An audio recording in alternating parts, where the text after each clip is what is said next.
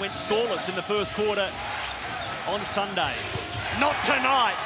An early three from Bryce Cotton. Ogilvy gets the offensive board, and don't they need some of them before turning it over? Martin for Prather, and Casey stuffs one. Off the board, he steps around, just goes slap. And watch this steal. Damian Martin just anticipates the only place that A.J. Ogilvy could go with that pass. Jesse Wagstaff, here's Kenny. He finds Prather open. He attacks the rim and has the easy Kenny for Prather around Rhys Martin and Prather make sure Perth opens a scoring. And they cannot hear themselves think down here. Abby, I can't believe that. The Wollongong community. It's the grand final series. What else do you expect? And Casey Prather buries three to really.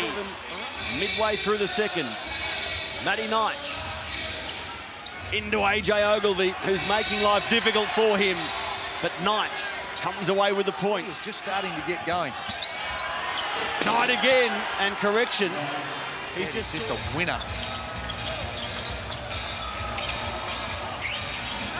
Prather off the glass. Firehouse in the suburb of Rotnei if he keeps dropping the threes. Kenny finds a way through tonight. Angus Brandt, another good shot from Brandt. To start the second half. Cotton spinning away from Kevin White. Nice work, Bryce Cotton. And three men helped him stand up. So that's the stage where he's at. He's absolutely gone straight into the rooms, and I don't think we'll be seeing him again. Cotton. Guarded by Kevin White. Cotton, top of the key, and it's good for Bryce Cotton. Matty Knight and the Wildcats. The question now being, will he be there on Sunday? Wagstaff from the pocket. Shawn Redhage equal Ricky Grace with the most grand final games for Perth tonight, and Wagstaff plays it. role. Brandt across court for Damian Martin, who gives it plenty of air and watches it trouble the bottom of the net. Brandt got the ball in the block, rotations, and found Martin on the weak side. What a block! A big lead. Casey Prather. Watch him slide his feet there. Gets him off balance. Crowd stands and applauds, willing their men on. Defensively right here is Prather. Draws the foul, scores, and can take Rotnei Clarke.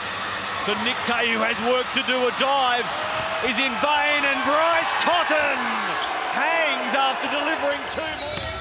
Cotton slipping and sliding his way to Angus Brandt.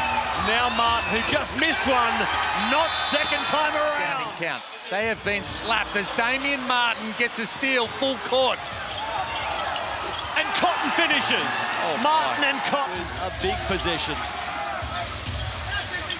Prather, they rotate for Damian Martin to deliver again and deliver fantastically well.